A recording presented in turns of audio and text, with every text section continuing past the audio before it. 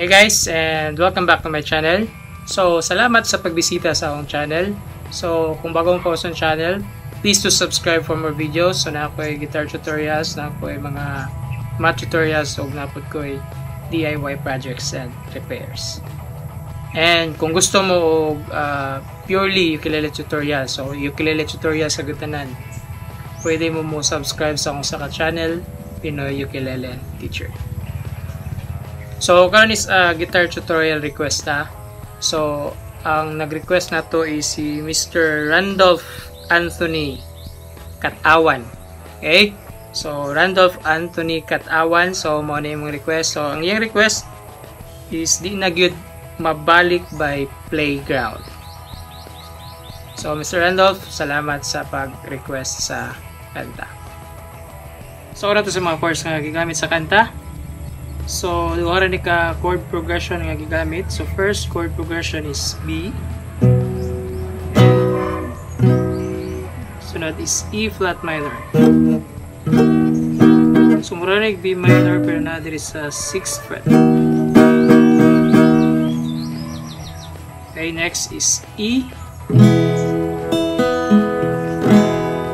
Sunod kay F sharp. Okay? So, yung chord progression is E. Then F sharp. Then G sharp minor. Kanya, balik sa F sharp. Okay? Then, strumming pattern ta. So, sa strumming pattern, nga nilang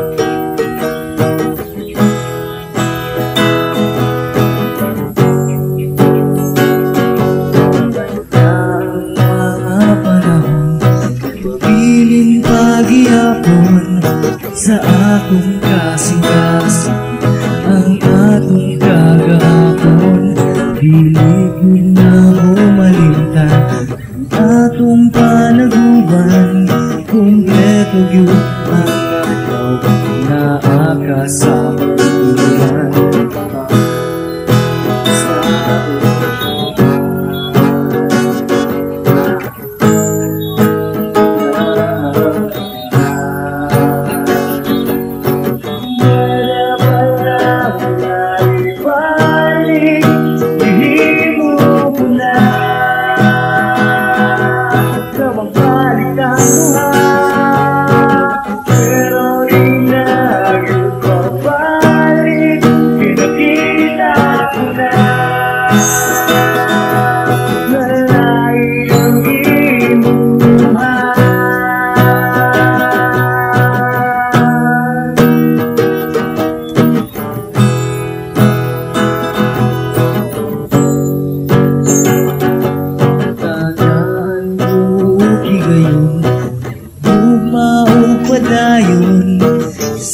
Sa pagkakaroon Magyapon akong bilion Ikuman paangko ng tanan Dinhi sa kalibutan Ang importante nga ikaw Sulungin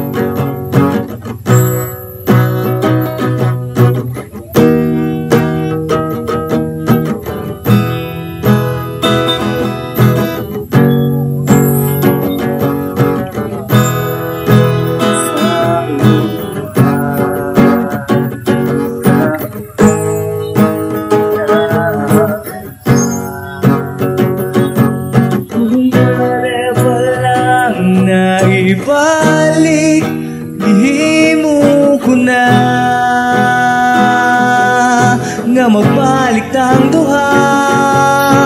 Pero di na